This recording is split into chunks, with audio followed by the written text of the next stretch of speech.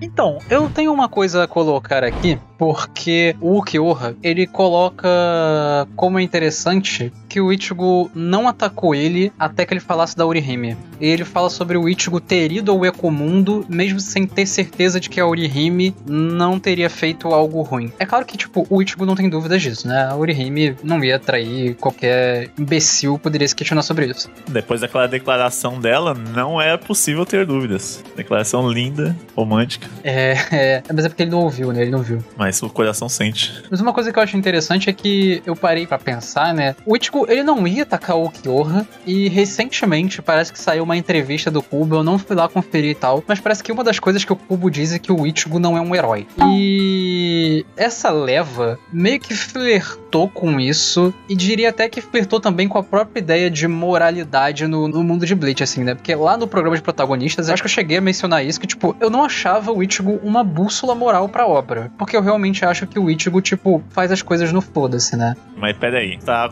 vendo o micro da coisa. Tudo bem, né? leva de volumes aqui ele reage, como eu falo sempre, é um arcade, o Ichigo anda em linha reta e o que vem pelo caminho ele infelizmente tem que bater. Não é da atitude dele tomar a iniciativa da violência. Então, ah, o, não é o Han Solo shoots first, né? Não é o Han Solo que dá o primeiro tiro no Stormtrooper, não é o Ichigo que dá a primeira espadada. Mas a atitude dele é heróica, é um heroísmo até de não violência, ele só quer salvar o Orihime. Se puderem não atrapalhar, ele até agradece. Só, vim salvar minha amiga, falou, valeu, e é isso. Os caras que querem brigar. Então, mas não seria muito mais heróico você, tipo, se preocupar com o coletivo em si? Eu não sei se o, o Ichigo tá certo. Eu acho que, tipo, o Ichigo age por razões pessoais. E eu acho que é meio confuso falar de uma como posso dizer, um, um, comportamento certo no mundo de Bleach. Porque, mano, os Shinigamis, por exemplo, né, isso é uma coisa que é mais nítida, talvez, no arco da Soul Society, porque eles são os vilões, mas os Shinigamis são asquerosos. O Zaraki é um, é um merda, o Mayuri nem se fala, e o Byaku é um arrogante filho de uma puta, assim, tipo, é muito escroto. Assim, eu não fui ver lá o que, que o Kubo falou, mas eu fiquei pensando sobre essa coisa, assim, eu acho que ele realmente tentou criar um mundo, e sabe aquela coisa que a gente fala de sacanagem, assim, tipo, ah, Hunter x Hunter é apolítico? Parece que Bleach é meio isso também, sabe?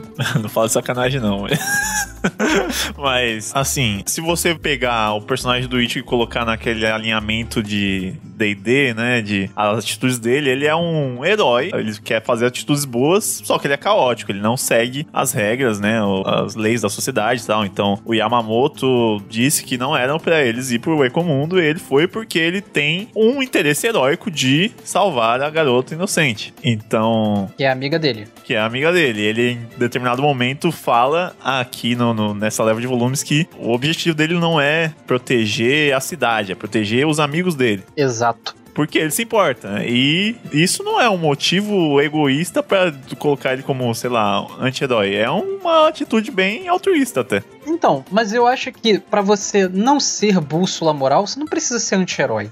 Mas ele não é nem neutro, Léo. Esse é o problema. Tipo, se ele, ele foi salvar o Orihime. Se ele visse uma injustiça acontecendo com outra pessoa e ele tivesse que escolher entre agir imediatamente e salvar outra pessoa e pensar especialmente em agir para poder salvar o Orihime em outro lado, ele ia salvar aquela pessoa que ele não conhece primeiro e depois salvar o Orihime. Exatamente. Tanto que ele taca anel aí, né? Exatamente. A anel é esse exemplo. Ele não consegue desprezar um para poder salvar o outro. Se ele agisse só em prol daquilo que ele pensa de maneira egoísta, ele ia deixar aquela pessoa de lado, ou até voltaria para ela, mas depois que ele cumprisse a missão principal, que era no caso salvar o Orihime. Mas ele não faz isso. Ele age com aquilo que tá na frente dele. Igual o André falou, ele reage com as coisas. Então ele tá indo em linha reta. Se tem coisas acontecendo, ele reage com elas. Ele interage com as coisas que estão acontecendo. E até voltando às origens dos primeiros capítulos de Bleach, né? É traçado a personalidade do personagem com mostrando ele reagindo a uma injustiça que é os caras depredando o mural lá, né? O negocinho pros mortos que fizeram, eles chutando e quebrando lá as coisas, a oferenda. E ele, em meio a essa injustiça, ele se vê na obrigação de agir. E até assim que ele constrói a linda amizade dele com o Shed, né?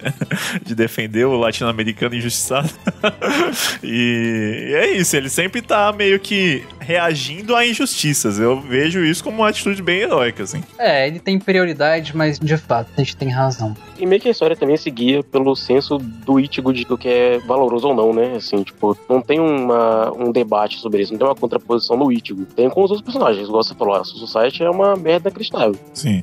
Então aí tem a contraposição do Ichigo com a Society, mas do próprio Ichigo em si não. Então eu acho que os valores bons são óbvios, né, dentro da história. E acaba que o Ichigo acaba influenciando muito. O próprio Byakuya é tocado pelo Ichigo, né? E, e você vê que ele vai tornando o coração dele menos rígido em relação a Hulk e tal. É, realmente, pensando assim, o Ichigo quase que vira uma bússola moral mesmo pros personagens ali. Ele tem um arquétipo parecido com o Luffy do, do One Piece. Tem os personagens que são mudados pela história e tem aqueles que mudam a história. E eles mesmos não mudam. O Luffy é essencialmente a mesma coisa do primeiro capítulo até hoje. O Ichigo também é a mesma coisa. O Ichigo do começo e o Ichigo do final de Bleach é a mesma coisa, ele não muda, sabe? No ponto que a gente tá agora, ele também não mudou ainda. Mas ele muda os outros. Ele mudou o Byakuya, ele mudou a Rukia. Lentamente ele vai mudando, ele vai moldando ele a Society. Assim, ainda que não demais, mas aí isso acontece, sabe? A Rukia, eu acho que ele não mudou não, porque a Rukia já era um ovo limpo ali no meio da podridão da sua Society. O único desalinhamento moral do Ichigo é se aliar com o né? Que é o Ishida, mas enfim.